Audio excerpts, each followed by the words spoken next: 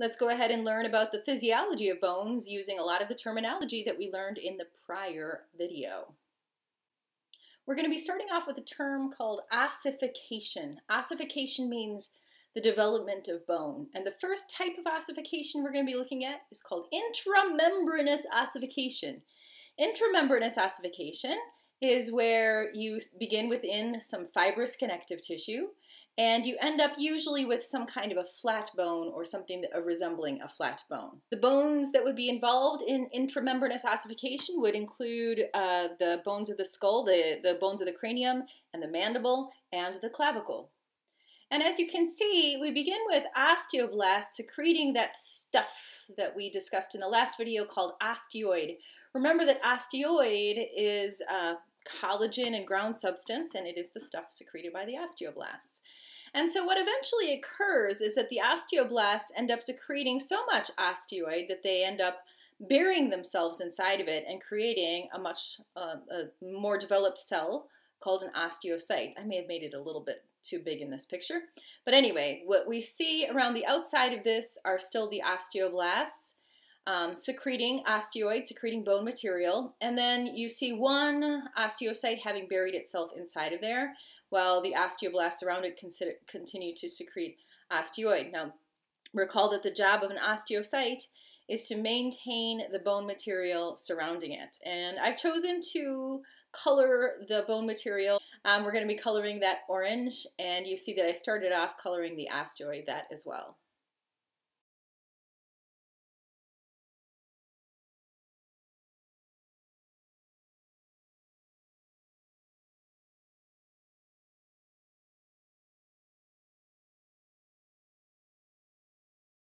Intramembranous ossification results in flat bone material pretty much exclusively. And so let's go ahead and draw a flat bone. Remember, just two straight lines with the figure eights in the middle there. this time we're also going to draw some osteoblasts around the outside, indicating that um, even after they have finished developing the bone, you probably will still have osteoblasts, remember living inside of the periosteum, which exists outside of the bone material. The flat bone, remember, is thin, flattened, and curved, which describes the bones of the cranium, the mandible, and the clavicle. Let's go ahead and color that um, osteoid or the uh, bone material there. We're going to go ahead and color that orange. A good time to remind you that bone material, bone matrix is 35% osteoid, which is uh, ground substance and collagen, and 65% calcium with these two substances living side by side with each other. I thought it would be a good idea to go ahead and draw some blood vessels as well. Uh, keep in mind that we'll have arterioles, venules, and nerve fibers living side by side, uh, but I thought I would just draw I probably should have done the venules because it would show up better. But anyway, here's the here's some red blood vessels, some some arterial, just to remind you that this is an extremely vascular tissue entering in through the periosteum on the outside, diving into the bone through those osteons in the compact bone, and then through the trabeculae of the uh, of the spongy bone of the cancellous bone. I've also gone ahead and used a different color to draw some red bone marrow in there labeled it red marrow, couldn't see it, so I redrew it in black. There's the red marrow. It's worth reiterating that point. Red marrow exists in cancellous bone. And there's our osteocyte being labeled, and a few more osteoblasts.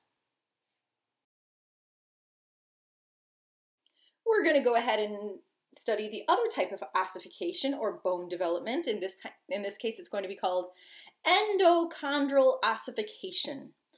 Endochondral ossification. So if we look up above, we've talked about intramembranous ossification, which means within a fibrous connective tissue. Endochondral means within a, a, a cartilage material.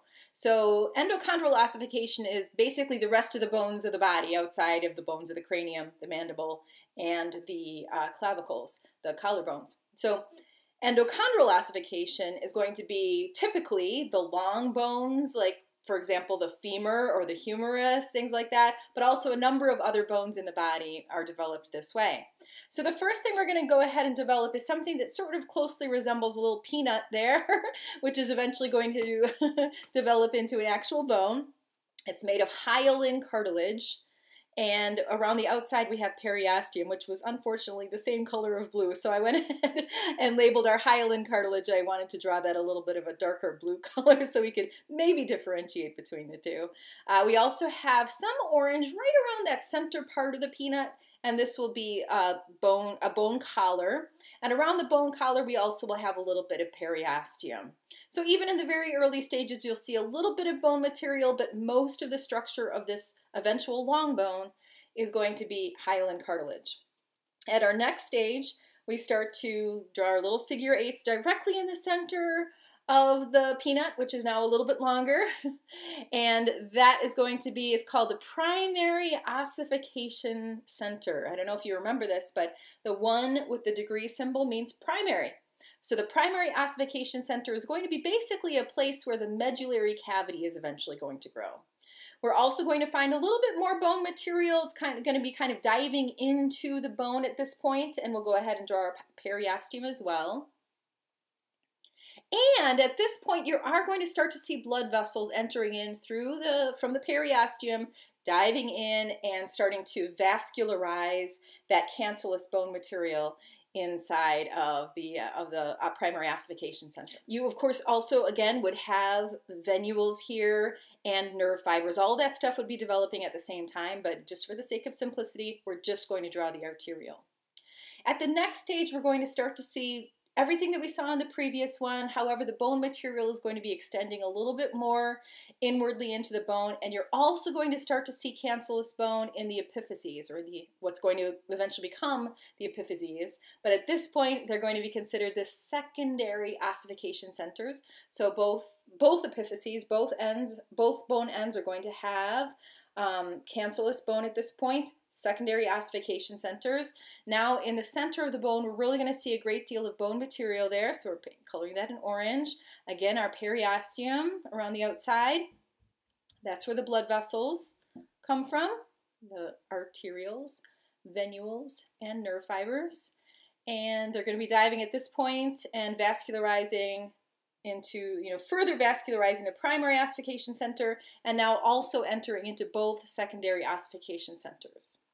In the last stage, we're going to go ahead and develop what's pretty much a fairly de well-developed bone. What's going to happen is throughout childhood, the bones are going to look very much like this, with pretty much the entire extent of the, the long bone being what we considered a bone. Um, it's going to have osseous material there. It's going to have bone material, so lots of our osteoid, uh, 35%, and calcium at 65%. When we look back at the previous stage, what's going to happen is the epiphyses are still going to be made primarily of hyaline cartilage. So I went ahead and colored those blue. With only the center, you see the diaphysis is going to be bone material. The epiphyses are both going to be hyaline cartilage. And in the previous stage, pretty much the majority of what we see here is hyaline cartilage, so we're going to use that nice deep blue for that. Just a small amount of, of bone at that stage, you see and then it becomes more bone materials that once we get to the fully developed stage, there's only a few spots of cartilage left the very ends of the bone are going to be made. That is not actually periosteum on the ends. On the outside there, that is now considered articular cartilage, which is actually uh, hyaline cartilage. We also have hyaline cartilage in those epiphyseal plates, which are also drawn here. And around the outside, you really can't differentiate it. I don't think these two blue colors, but anyway, we have the um, the periosteum around the outside as well. All right, but other than that, other than those few spots of hyaline cartilage, the articular cartilage, and the epiphyseal plates, the rest of it actually is bone material at this point. It's basically considered a fully developed bone. You could walk on this, for example. Um, I would say at about 25 weeks gestation, babies have their bones fairly fully developed like this. And those epiphyseal plates remain as hyaline cartilage throughout growth up until about the age of 20, perhaps, maybe the age of 18, something like that. The epiphyseal plates are more commonly known as growth plates. And of course, we go ahead and punch those uh, blood vessels straight through. Arterioles representing here the arterioles, venules, and the nerves, which are punching through and penetrating straight from the, uh, the um, periosteum directly through the compact bone, through the osteons, and also into the epiphyses.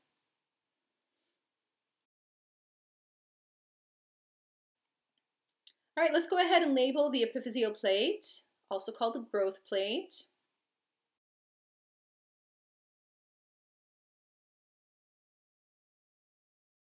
And also the articular cartilage, which again is one of those very last spots of hyaline cartilage that's sort of left over from the ossification process, the developmental process.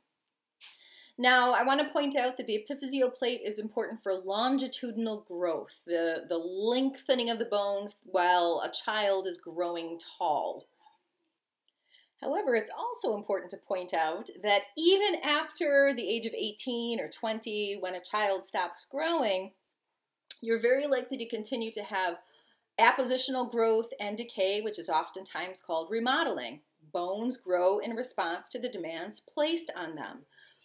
Also, grow, bones shrink away when they're not being used. And it, it's important to point out that osteoblasts and osteoclasts are going to be part of both of these processes. If we're lengthening the bone, then we basically add bone at, in a long way, but we also take away bone that's inappropriate so that the bone is appropriately shaped. The same thing happens during appositional growth or during, during remodeling, is that when you are growing a bone, it's going to be using osteoblasts secreting their osteoid. But when you're decaying a bone away, because sometimes that is appropriate, then you want to use osteoclasts, which are secreting their enzymes and acids. And so when we talk about longitudinal growth, this is happening only at those epiphyseal plates, those growth plates, and it happens only during development up until a child is fully grown. However, that remodeling continues throughout your life depending on what you're doing. If you're working out and working your muscles quite a lot, then your bones will continue to grow because the, the muscles will actually be tugging on them and kind of forcing them to bear more density. However, if you're going through a period where you are not using muscles as much, then the bone is likely less likely to be stressed and is like um, less likely to uh, undergo appositional growth.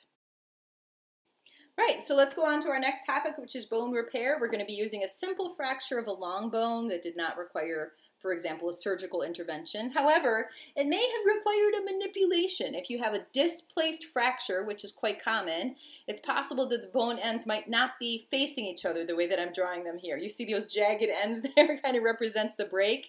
It's rare that a break is so lucky that the bone ends are, especially a complete fracture like the one we're seeing here.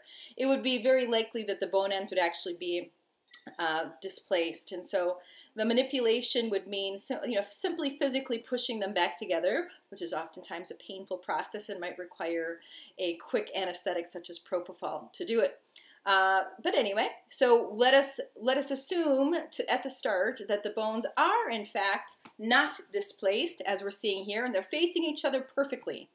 The first thing that's going to happen is a great deal of blood is going to ball up around the injury site, and this ball of blood is called a bolus, which is actually uh, healing properties. And for the sake of continuity, I'm just going to include a little medullary cavity, a little bit of cancellous bone along the edges, and then some compact bone along the outside to indicate that this is, yes, a complete fracture right in the center of the diaphysis of a long bone. Now the next stage what's going to happen is the first thing that's going to happen is there's going to be granulation tissue in place, which is a really fast growing tissue that would grow in place at about a day or less than a day. But the next thing that's going to happen is hyaline cartilage or some type of cartilaginous material is going to grow and you'll notice it kind of takes exactly the position that the uh, blood bolus did in the previous stage. Now this stage is going to be considered fibrocartilaginous callus formation and so again, simply a, a cartilage material taking the place, uh, the sort of as a gap stop in that fracture position. Again, we're going to go ahead with the same pattern. We're going to draw our little medullary cavity there. and some cancellous bone around the outside of the medullary cavity as happens. But in this case, we're also going to extend the cancellous bone right into the fracture site.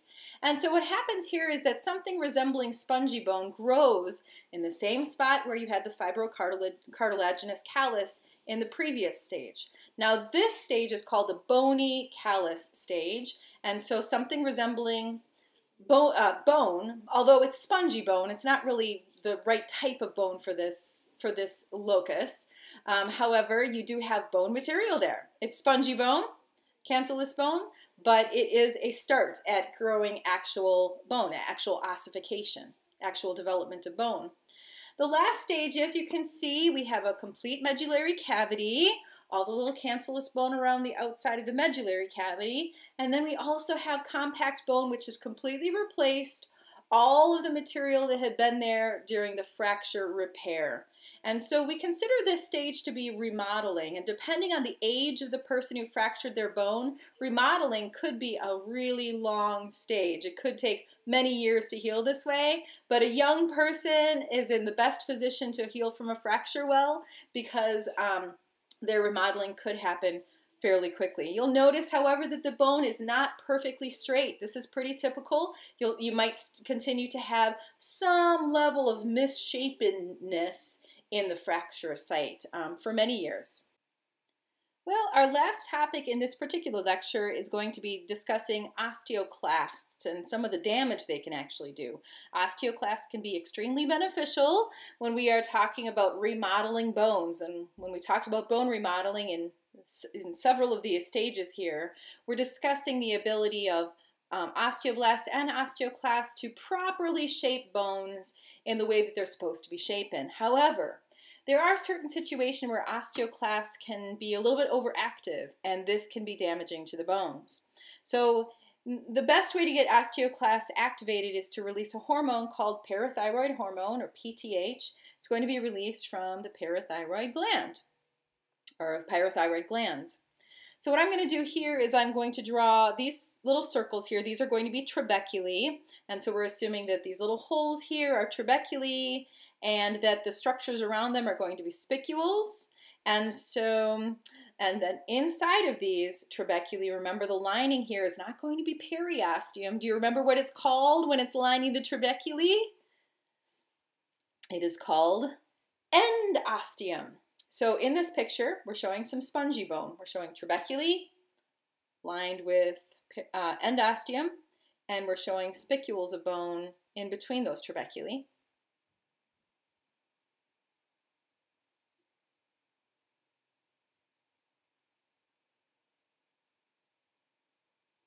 And what we're showing here is spongy bone that it's actually healthy. This is kind of the way it should be looking when it is healthy. However, if in a situation, there's a number of reasons this might happen, um, when the osteoclasts become a little bit too active, remember that both osteoblasts and osteoclasts are living inside of that endosteum. They are in a perfect position to be doing appropriate remodeling throughout your lifetime. However, in the situation where you are releasing a great deal of PTH, this parathyroid hormone, and it starts to activate those osteoclasts, then we will have a situation where the osteoclasts are just eating away at that bone. So what I've done is I've drawn the same spongy bone. I've done my best.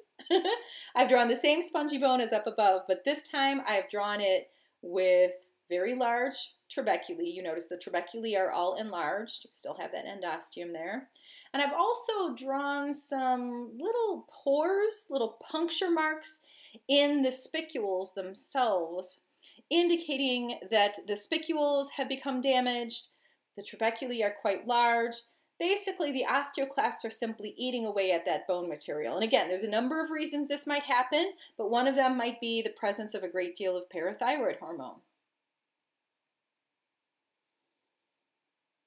And this is bone that we consider to be osteoporotic bone. So this is a person who is suffering from osteoporosis, which would be an, uh, an eating away of all the different bone types, but it's easiest to see in cancellous bone, in spongy bone. So this is an osteoporotic bone.